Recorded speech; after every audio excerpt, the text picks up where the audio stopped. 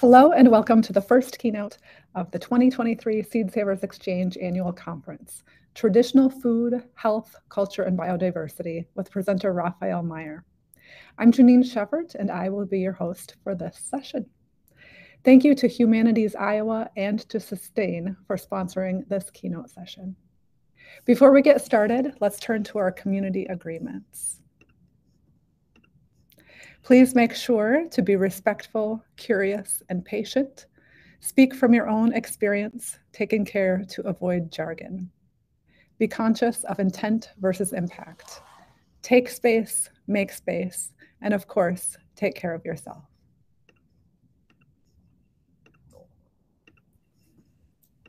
We are here today with Rafael Mier. Rafael is the founder and director of Fundacion Tortilla, a nonprofit organization dedicated to promoting corn and tortilla as fundamental elements of culture, nutrition, and Mexico's economic development.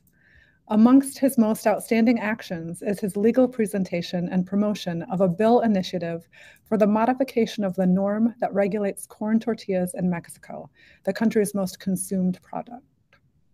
Through Fundacion Tortilla's digital platforms, Rafael has developed information and communication strategies, creating over 500,000 followers, engaging with his specialized corn content, positively impacting over 20 million people each year. In 2022, Rafael was recognized as one of four social entrepreneurial leaders in Mexico by the Visionaris Awards granted by the UBS Bank. Rafael, thank you so much for being here. I'm really looking forward to learning more about the work you are doing. Hello, Janine. Good afternoon, and good afternoon to all the people that are listening to us. I am very grateful to be here with the Seed Savers Exchange as a, as a guest. Thank you very much.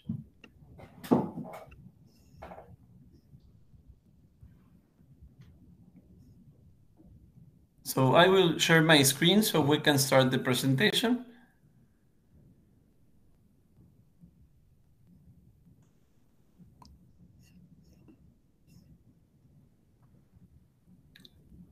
You can see it now, Jenny? Here we go.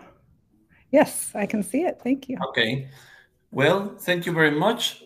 I will start with the presentation I prepared for today. I would like to talk about the importance of traditional food in terms of health, culture, and biodiversity. As Janine already told you, we are a non-for-profit uh, organization which was founded in 2015, and we are devoted to promote the culture and consumption of corn and maize tortillas as fundamental elements of national well-being in order to to talk about corn, um, I think it's important to to talk about its origin and the domestication of this very important crop, which originated in Mexico, Guatemala, and from there it's it spread down to the south and to the northern countries of the Americas. The origin of corn dates back 9,000 years ago. At that time, there were people living in the continent, especially here in this region of what we call Mesoamerica. And they were gatherers, they were collecting vegetables, fruits, different kinds of uh, fungus. They were also doing uh, some hunting, fishing, and other primal activities. And that's the way they used to, to gain their food. At that time, agriculture was just starting with the, with the cultivation of pumpkin, which was one of the eldest crops that has been cultivated in America. In Mexico, we have some wild grasses that are distributed from central Mexico south to Nicaragua. These grasses are the wild corn, relatives to which the corn is more closely related. These kind of grasses uh, can be easily found even today. And at that time, 9,000 years ago, people, while they were traveling from one place and the other, at that time the people doesn't have uh, houses as we know today, or as we have today. They they were nomads and they were walking around. Uh, they could spend some time in one particular region, but they will move to other regions depending on the availability of food. The reason why people might be interested in this kind of grasses was because they could provide many different sources of food. One is its sugary stems. If you peel these kind of uh, grasses stems or stalks, you can obtain a fiber that is has a lot of sugar content and is an energetic food to eat. You can also obtain some food from the fruits when they are fresh, when they are green, and they can be eaten raw. And also, if if these fruits are uh, mature and they are completely dry, you can obtain some seeds or some grains that people grind them and eat them, probably toast them. And that was probably the way in which the ancient people of Mexico and Guatemala started consuming these wild grasses. At some stage, people started cultivating these grasses because they perceived them as an important source of food. And this special moment was the, the, the, the start of agriculture in, in America. As I was mentioning before, the eldest crop that has been cultivated in America is pumpkin, but also corn is one of the eldest species to be cultivated in, in this region. The cultivation of corn started in what we call the Balsas River Basin. This is a very big river that is located in the state of Guerrero in central Mexico. Here is where the eldest evidence of the presence of maize was found.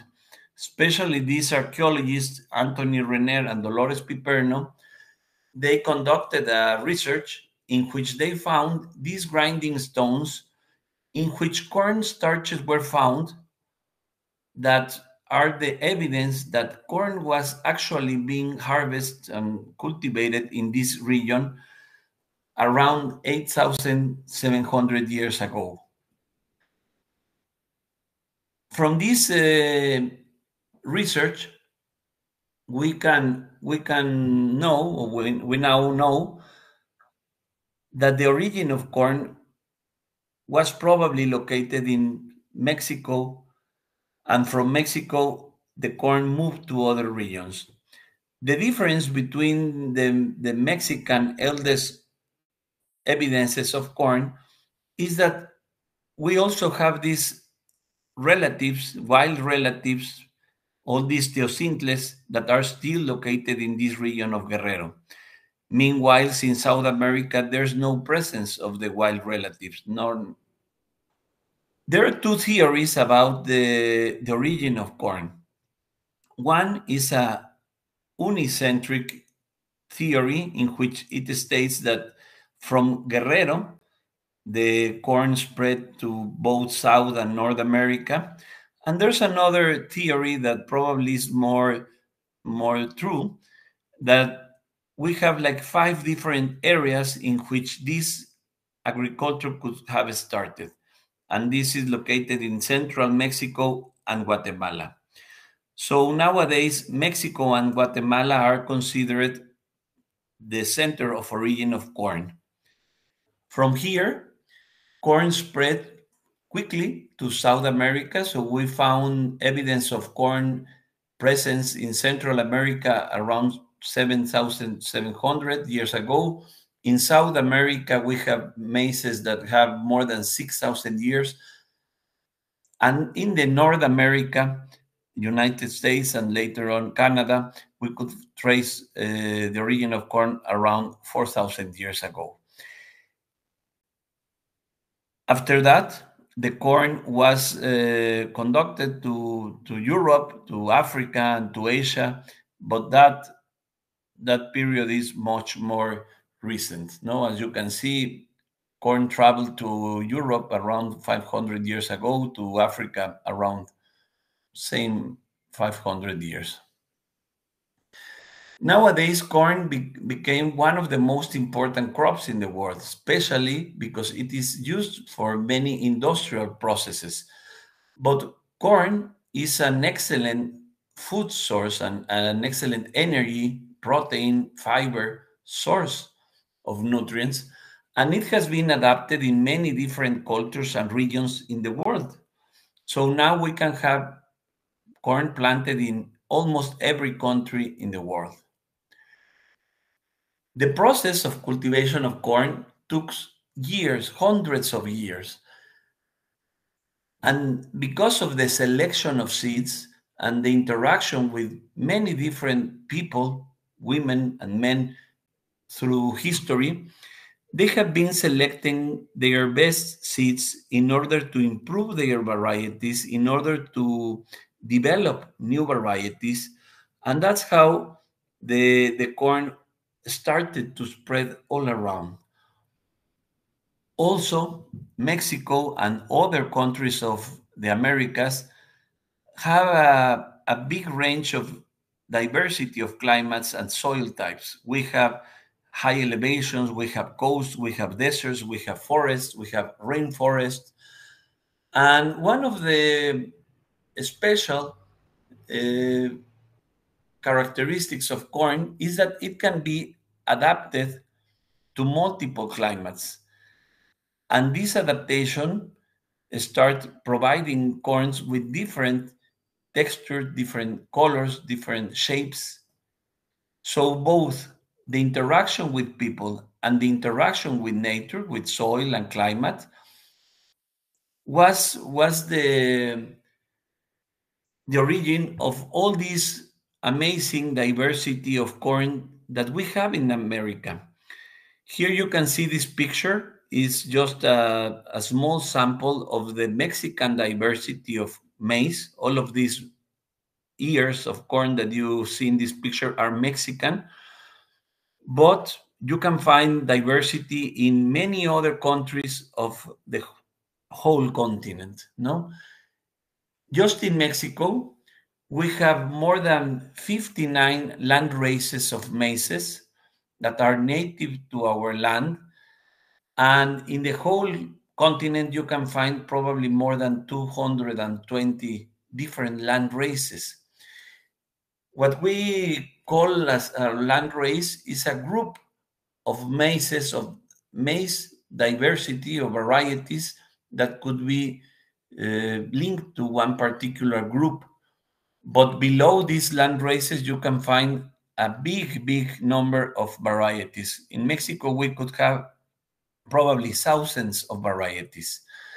And that's true because most of the farmers in Mexico, they are keeping and saving their seeds. They have their own reasons for keeping them. They have their own choices for selecting their seeds. And so each of these families have their own variety by themselves. Here you can see some nice pictures of the land races of corn that we have in Mexico. All these pictures are, are part of the Conabio's research that has been conducted in Mexico around 10 or 12 years ago. Conabio is the institution in Mexico which is in charge of promoting and uh, the biodiversity in our country. Here you can see that we have many different colors, we have many different shapes.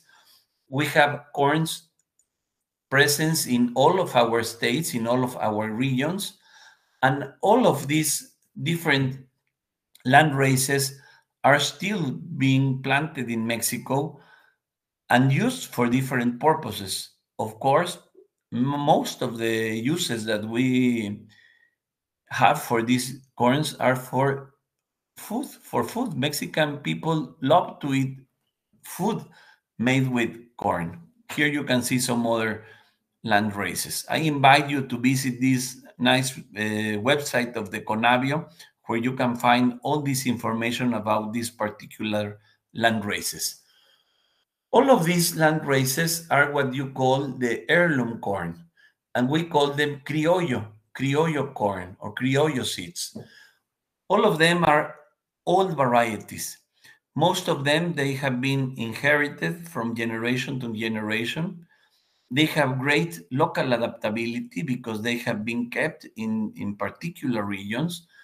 Usually, this kind of corn is produced by small scale farmers, and that's why they have limited production. Most of the people in Mexico are planting corn for self sufficiency. They, they plant the corn they eat during the year, and probably they sell some surpluses if they have them.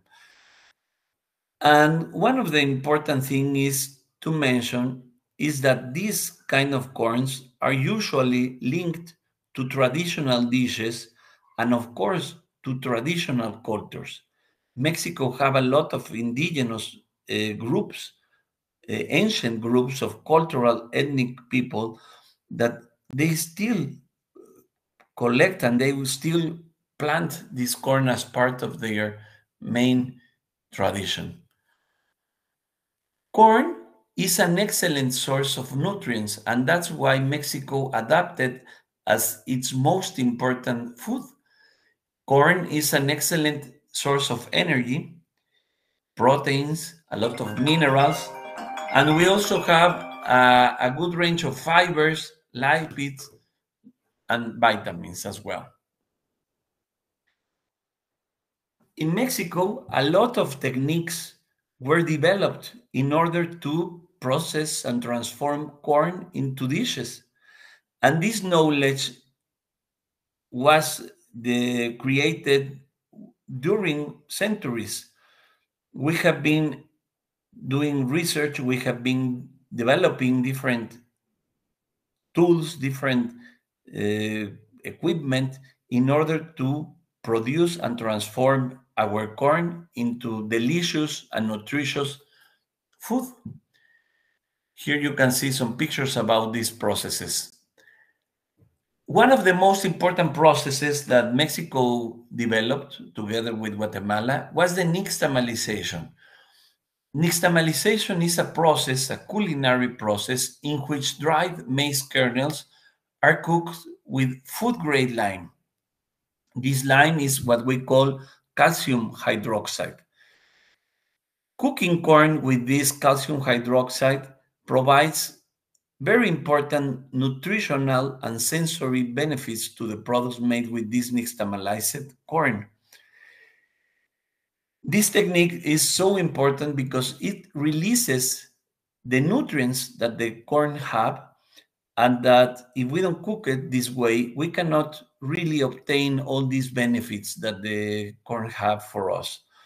Especially, we have a, an increase in the bioavailability of niacin, which is also called the vitamin B3. This vitamin B3 is related to the way in which we uh, absorb and how we uh, conduct our energy. The energy that the corn is providing us needs this vitamin B3 in order to be available. It also increases the iron and phosphorus availability. It, improves digestion, and it is also a very important source of calcium, especially in a continent where we don't have milk at that, at that time, the addition of calcium was very important in order to provide health to the Mexican and Guatemalan and other Central American countries. The most important food in Mexico nowadays is the tortilla, and it has been for a long, long time ago. This is our main staple food. We consume it a lot, more than 550 kgs per year. it's our average per capita consumption of tortillas. So we eat approximate one around half a pound of tortillas daily. And the importance of tortilla is such that it is the main source of energy, protein, fiber, and calcium of the Mexican population. So you can imagine how important is this food for Mexico. But we also combine our food, our maize, with many other different fruits, grains, legumes, proteins that we also have. As you know, the whole continent is, is a land rich in different kind of uh, species that are now some of the most important crops in the world. We are the land of pumpkins and chilies and tomatoes, guavas, and so many other amazing and important crops. With all this, with maize and with all these other ingredients, Mexican cuisine became very rich and very diverse. We have many different dishes made out of corn, probably more than 700 dishes that can be prepared with corn combine it with other fruits, vegetables, and proteins. And this is our, our main source of nutrients for in Mexico. One thing that is very important is that the, the Mexican culture has a permanence of its corn consumption and its techniques. Here, I would like to, to talk about this famous painting of uh, famous paint uh, artist called Diego Rivera, which is called uh, Lady Making Tortillas.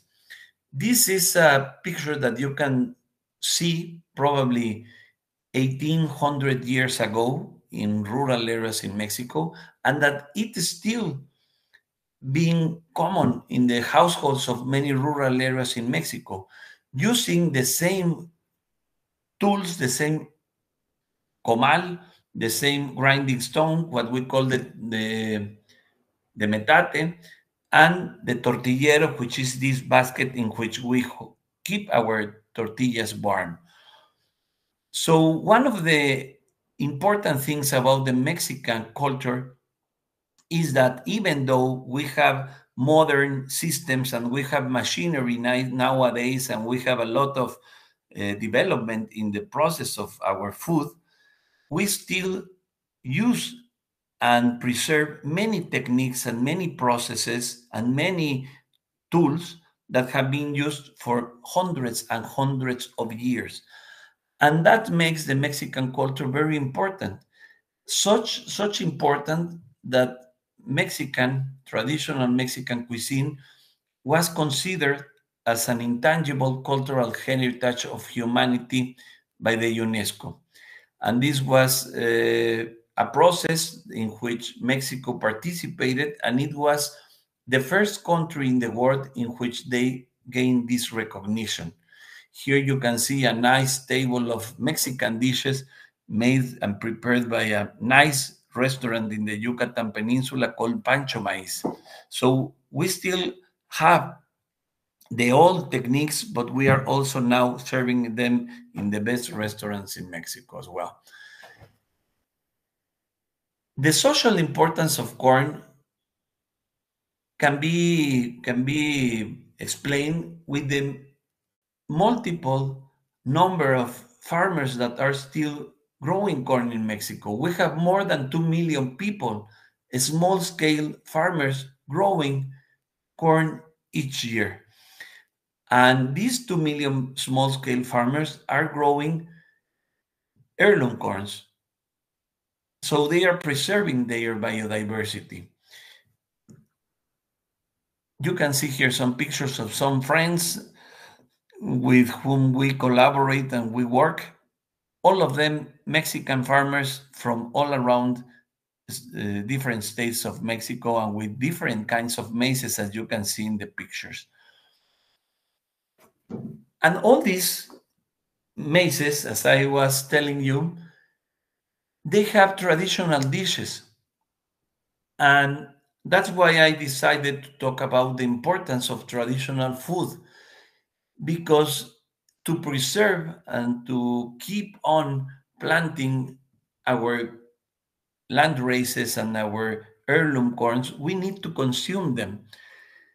So in Mexico, we have special dishes in which we use special corns. And that kind of dishes are the ones that are sustaining the, the conservation of all this diversity.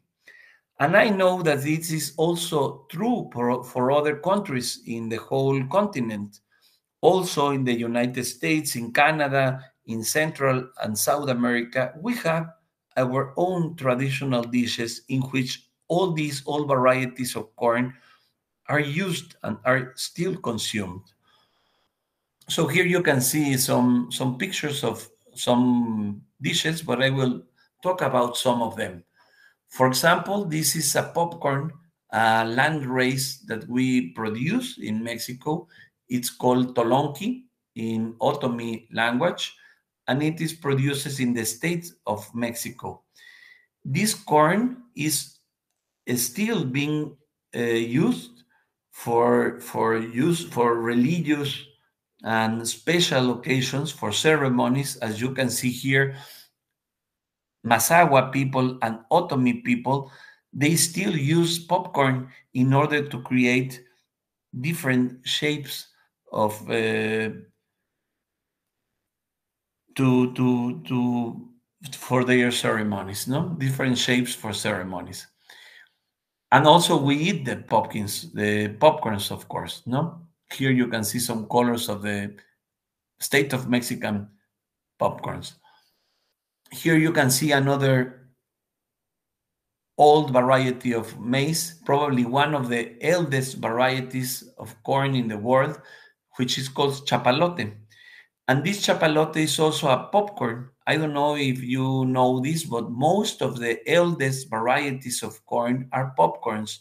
So uh, land races like this tolonki and this chapalote are considered as one of the eldest varieties in the world. With this kind of corn, you can make popcorn, and this popcorn is grinded and it is still consumed as a, as a powder, what we call in Mexico pinole. And we also do popcorn balls, which is also a very ancient food in Mexico. We also have this other landrace called the reventador. It's also a popping corn. It is produced in the state of Jalisco, and it is also used for tortilla making and for tamales making. Another important dish that is preserving corn diversity is what we call pozole. Pozole is a soup that we consume a lot in Mexico. It is prepared with nixtamalized corn, and it could have different kind of proteins, pork, chicken, uh, shrimps, or vegetables. And we have many different kinds and many different recipes all around Mexico in the different states in order to prepare this kind of food.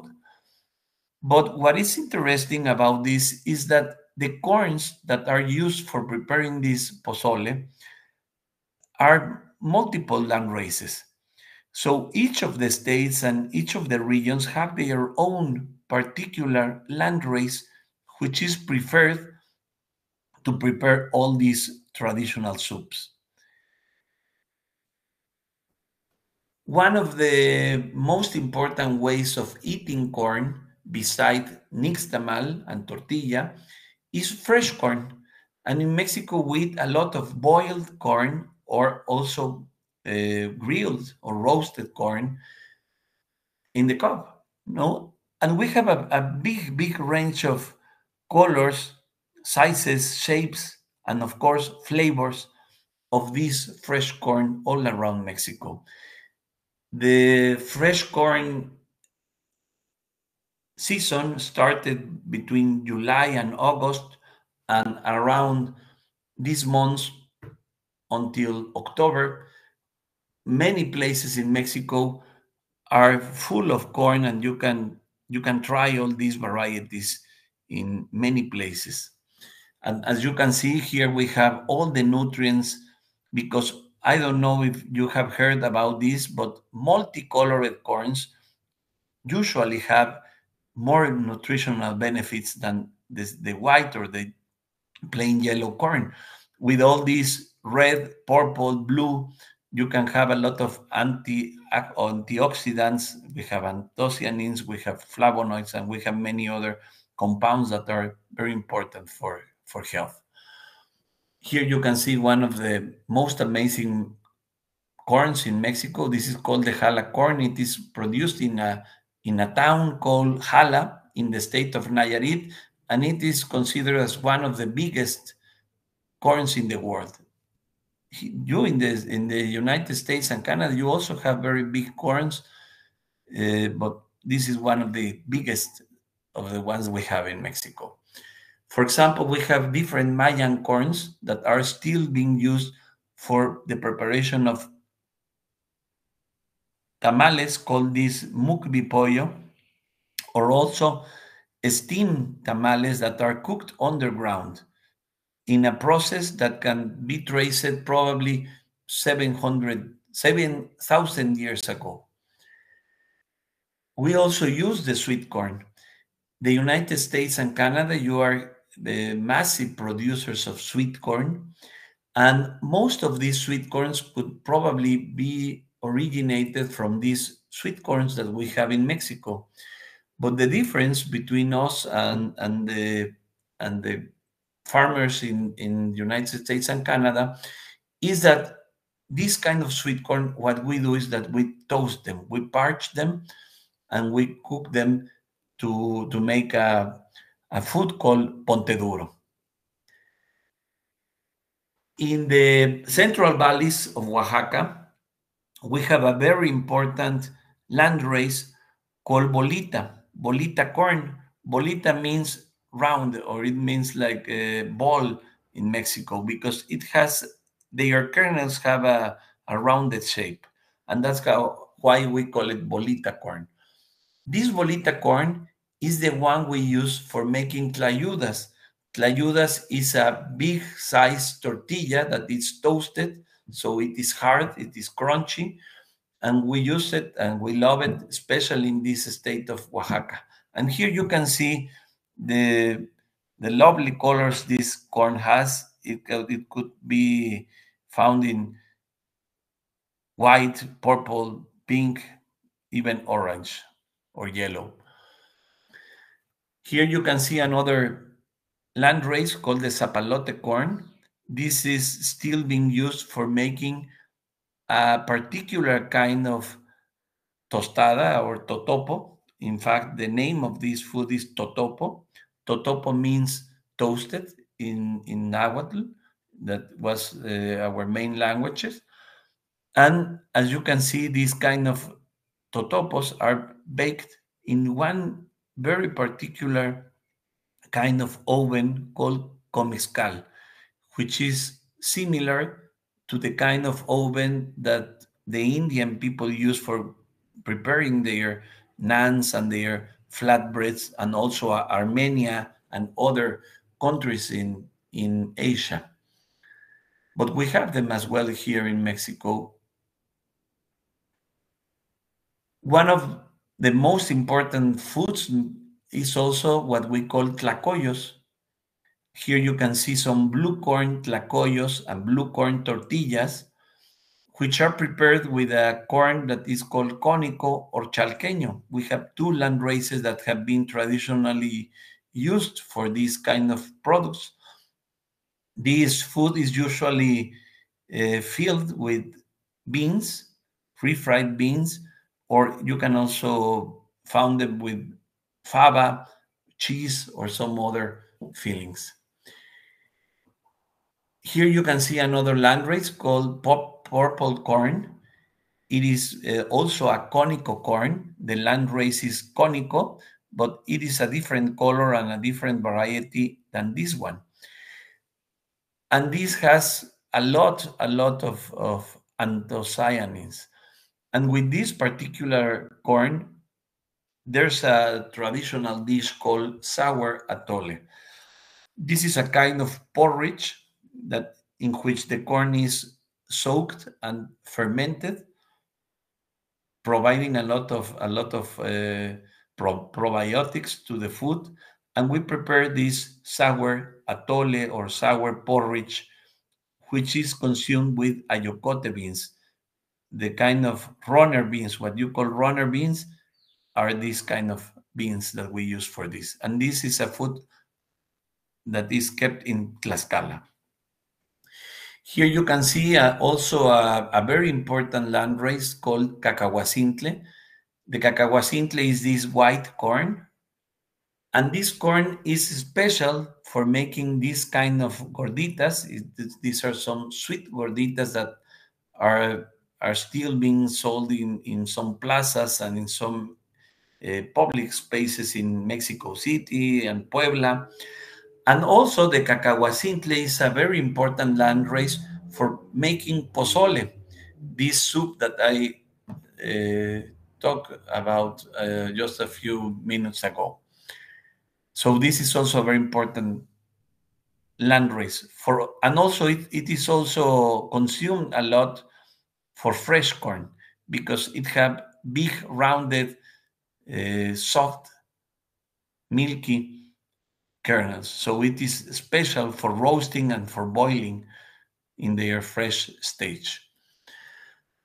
And probably the most important food which is preserving land races in Mexico is the tortilla itself.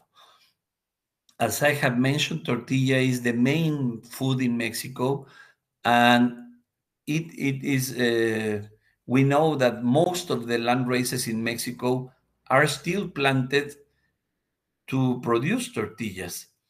So, as long as we Mexicans preserve our consumption of tortillas, we will keep on planting and promoting this culture and this uh, heritage of planting and eating maize in our countries no so the same as Mexico have, because we have such a big variety and such a big diversity, I think the whole continent, the whole countries of Central, South, and North America have their own land races, their own varieties that needs to be preserved. So this uh, presentation is aimed to promote and to encourage you to learn about these antique ways of cooking, to keep on these traditions in order to keep our health, our culture, and also to preserve our diversity in our countries. So, the Americas is the land of corn.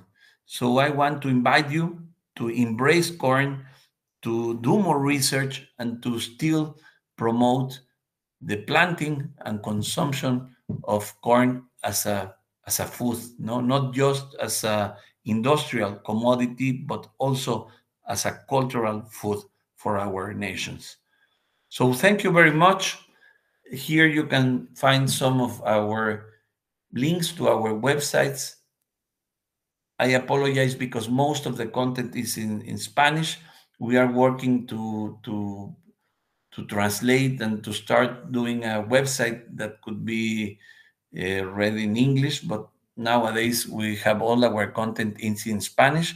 But I know that many people in the United States and in other countries now speak Spanish, so I invite you to to join to our website and our social media. So thank you very much, and I return to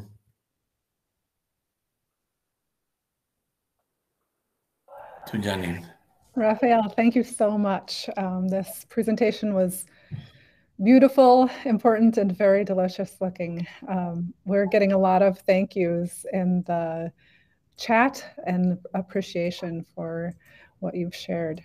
Um, for those of you watching, if you have questions, we do have time for a Q&A. So please go ahead and add your questions to the chat and we will, um, I will read them to Rafael here. Um, while we give people a chance to do that, Rafael, how did you get started studying corn? Well, I started because I realized that Mexican people are losing their interest in corn. And I myself realized that that I didn't knew that much about corn at that time. And one day I that was like a kind of aha moment that I say, no, this is something bad. If Mexico is the center of origin of corn, why does we Mexicans are not learning about the importance of corn? And that's why I started doing research and to start to, to learn myself more about corn.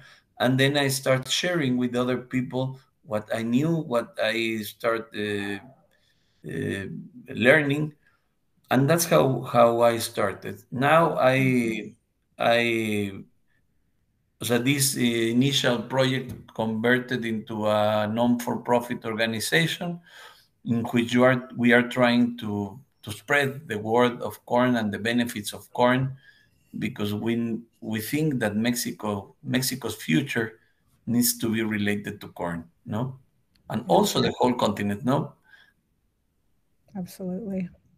Um, you talked about how corn is adaptable to so many different places and climates.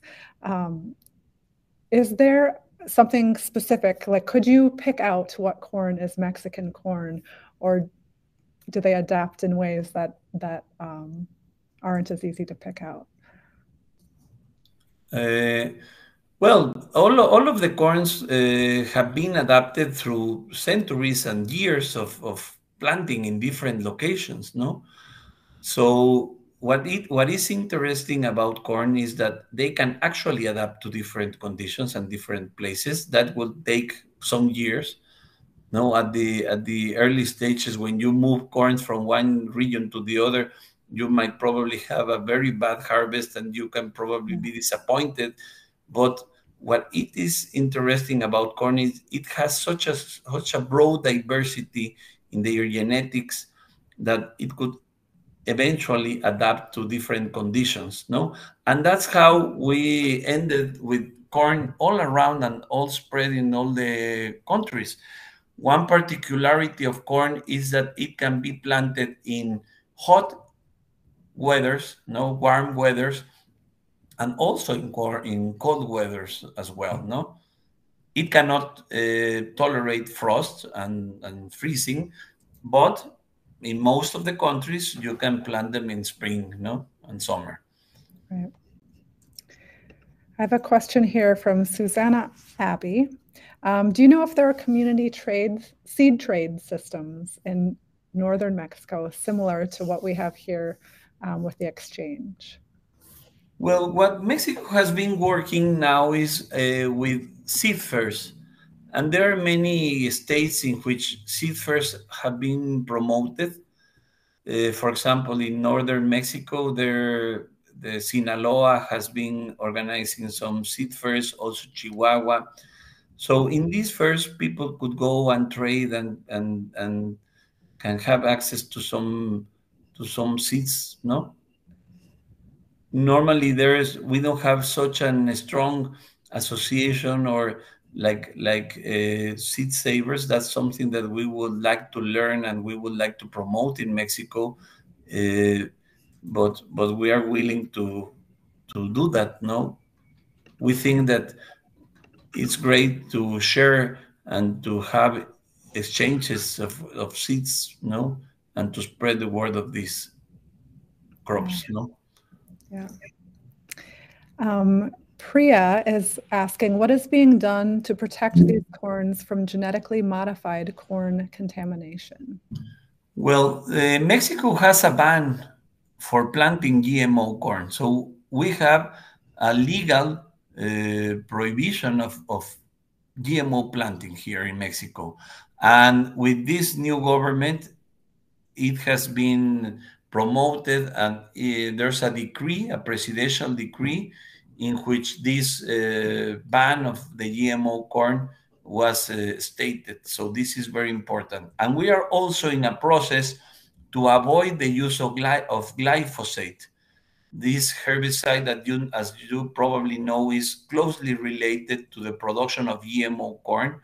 And we also have a, a decree, this same decree, the, the government is, uh, is proposing and is promoting that no GMO corn could be used for tortilla processing uh, in the in the next years. No, from 2025, and we will not have any glyphosate, and we're also working towards the ban of GMO corn using our tortillas.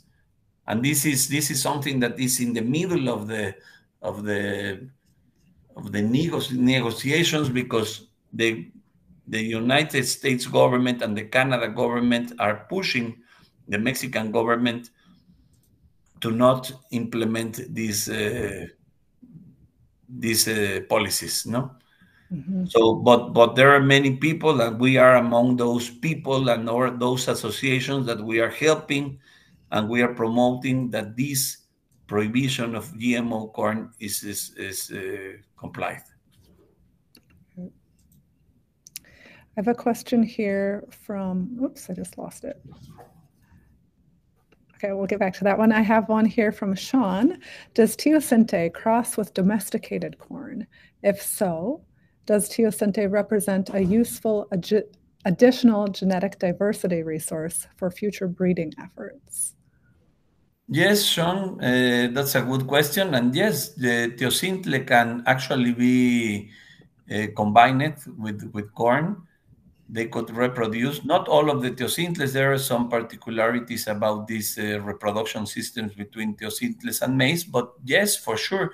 And they are considered as, as, as very important genetic resources. Mexico has been conducted a lot of research and, and, and also a lot of efforts in order to preserve their wild relatives. No, we have these teosinte populations, and we also have also a species called uh, Tripsacum that is also considered as uh, important genetics uh, materials and, and, and crops, of course, for for the for the future of of uh, of the humanity no?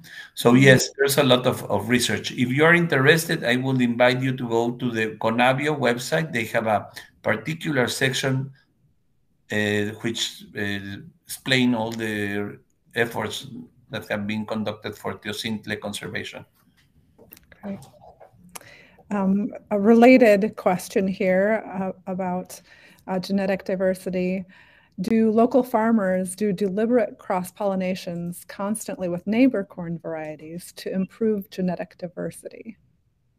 Yes, Gabriel. Many people they they uh, save their seeds and they exchange uh, uh, corns with other farmers with other neighbors because they know they most of the people they know that their maizes could be enriched if they have uh, if they bring some other lines or if they bring some other uh, special ears from other neighbors or from other uh, friends.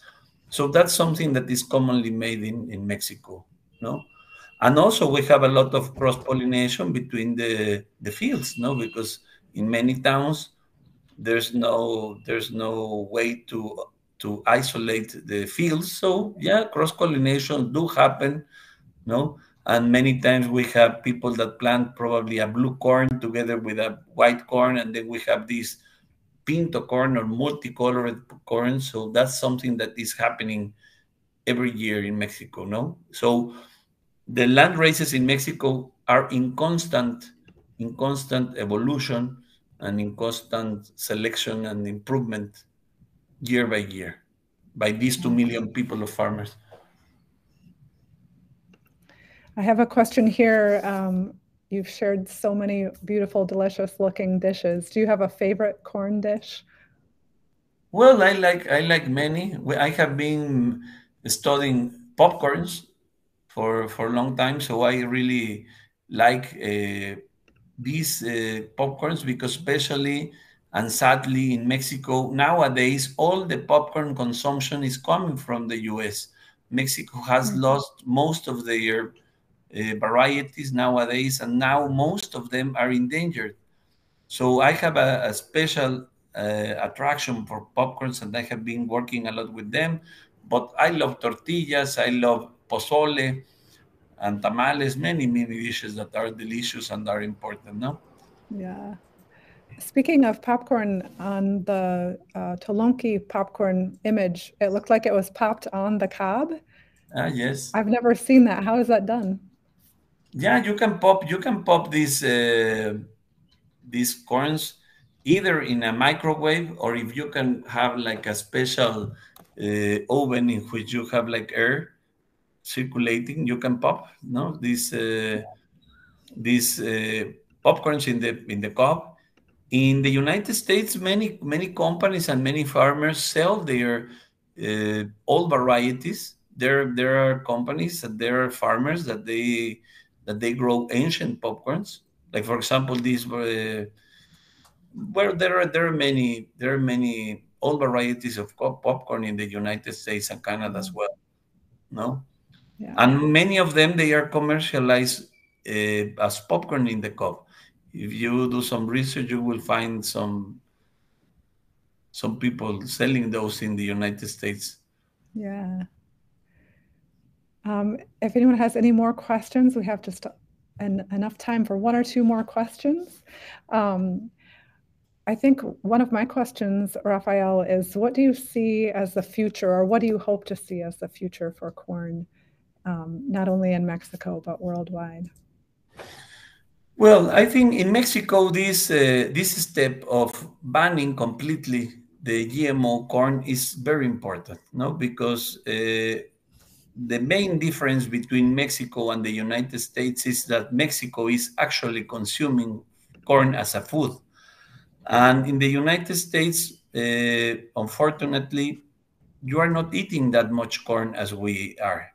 Mm-hmm. So I think that's that's a big big difference between the the consumption and uh, of corn in both countries. And also in Mexico, there's a there's a recovery, and people are really appreciating this culture nowadays. 10, 20 years ago, people were uh, not really interested in tortillas and tamales. Mm. They were looking at as as not not the not the best foods. And nowadays we are realizing that this tradition and these techniques are so important and that they have been feeding us with nutritious and healthy food for so many centuries. And now people are realizing that this is very important. So things are changing a lot in Mexico. We are also working in many different uh, areas, in many different strategies in order to, to increase the the interest and increase the importance of corn. So what I see is to to still consume corn. I am I am looking forward to increase the amount of land races corn that are uh, consumed in Mexico. I will also like to preserve many different uh, land races, especially with these dishes. No, and, and, and some others because also we can be innovative and there's a whole range of products and uh, dishes that can be developed with corn and that's what i would like to see no of course uh, opportunities for the people in the in the in the fields in the farms uh, cultural conservation uh, the people that are benefiting from this no and of course health we want to recover our health Mexico is facing a lot of problems uh, regarding its its uh, food. Uh, especially, we are facing health problems. We have a lot of diabetes and chronic diseases that are related with with a bad uh, with a bad food no habits. So that's something. And also, one thing that I would like to see is to to see to increase the consumption of corn as a food, and that's especially in other countries. No, uh, I think that the United States and Canada could, could benefit a lot if they start switching the way they are viewing corn and start looking it as a source of food as it is meant to be, uh, no? So, and also many other areas in the world. As you know, scarcity of food can be a problem in many places. Uh, uh, the increase in population and all these uh, uh, risk and risk and that we have in the in the future, the corn could be a, a great solution for for providing good energy and good food for many countries and many people. Yeah, thank you. We have a few people asking about this um, information, um, the Teosinte information website. I don't think I have that. Where is okay. that? I, let me see if I can find it, or I can show you. Yeah.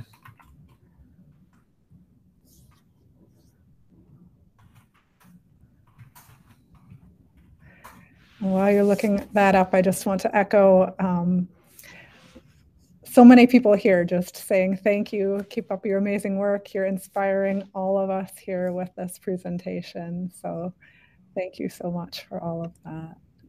Thank you. Thank you very much to all you. And of course, thank you to Seed Savers, to you, Janine, and for to Michael, which was the one who started this idea of yeah. into this uh, important uh, event. Here, here I just shared the the website of the Teocintles, no?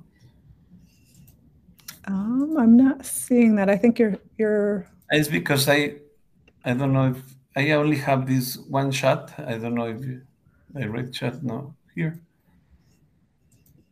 Oh yes, we've yeah. got it. All right, Cindy, do you have that? Okay, we will put that. And there are many articles. There are many articles that have been published about the Teocintles. If you are interested, you can probably send me an email. I think Janine will share my email.